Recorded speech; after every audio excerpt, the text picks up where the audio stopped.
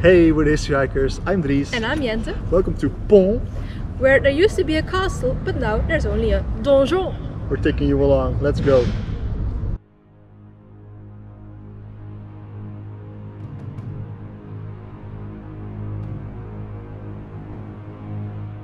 Our tour commences in the park that used to be the location of the old castle of Pons. It occupies a strong position on top of the rocky cliff and has been the site of many fortifications dating back to pre-Roman days. During the Middle Ages, it was strategically located between the English-held lands of Aquitaine and the French kingdom and was contested heavily during the Hundred Years' War. During the 17th century, most of the castle was destroyed by King Louis XIII. Pons was a Protestant stronghold and a thorn in the side of the king. All that remained of the fortress was a donjon.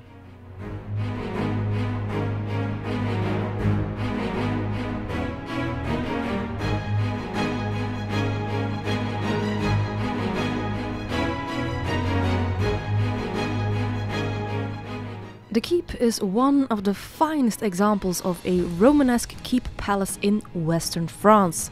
Its austere exterior is strengthened by large buttresses supporting the 33 meter high tower.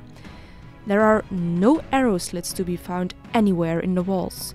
Most of the windows we see today were built five centuries after its initial construction.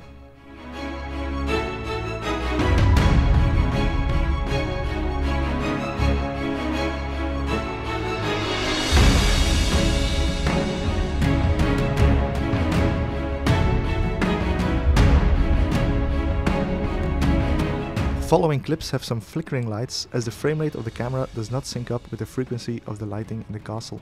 If you are sensitive to that, it might be best to skip to the timestamp mentioned on your screen.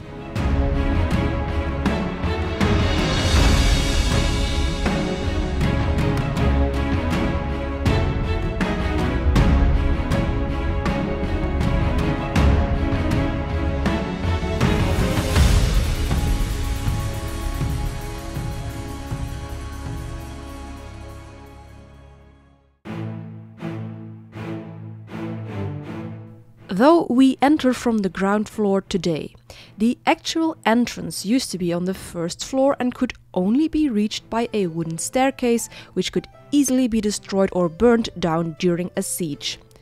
Construction of the donjon began in the 12th century when Richard Lionheart destroyed the earlier castle after a revolt.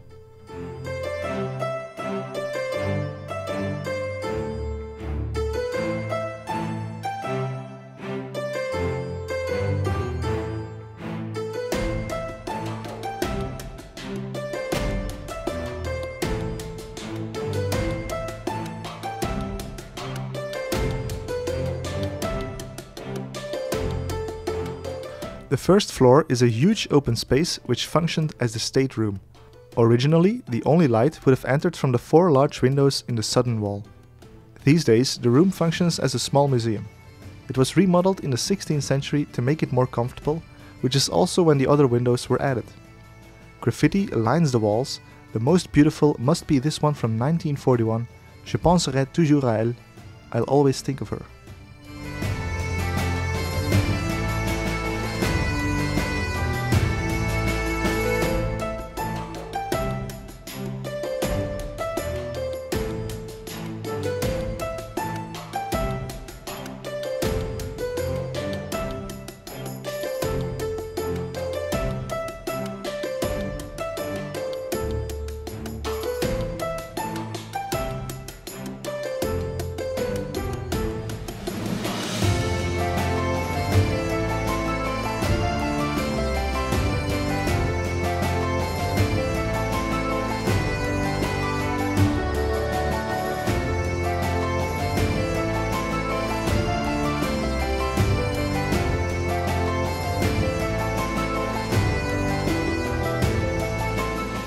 Access to the different levels is provided by narrow spiral staircases installed in the walls, which are up to 4 meter thick in places. The terrace on top provides excellent views over the city and surrounding landscape. It is, however, not original in the slightest. In 1904, it was decided to construct these fanciful battlements with machicolations and corner turrets. Apparently, it was financed by selling a fireplace in the castle. Nevertheless, the crenellation is a nice modern crown to a fine piece of medieval architecture, and it is the defining feature of the Pons skyline, reminding onlookers of their former glory.